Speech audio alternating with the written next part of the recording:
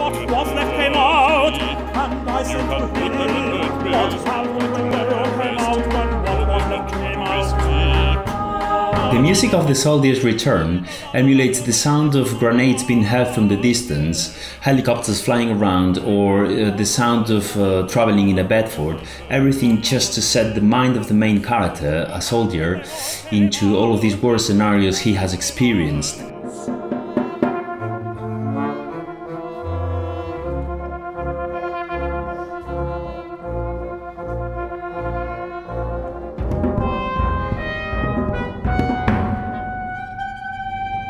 But at the same time, the music also has the role of bringing his mind back home every time that uh, he stops uh, working through in his mind uh, everything he has experienced. And that happens every time we hear a change of mood in the music or a very recurring leitmotif uh, based around the intervals of a third.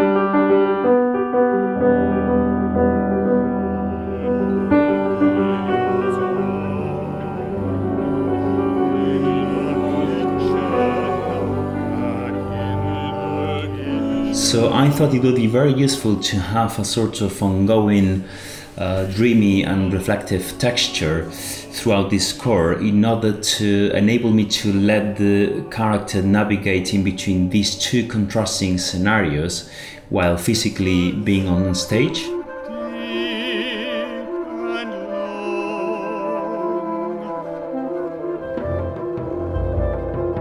And I think that texture is probably what gives uh, the main essence or the sound wall to this opera.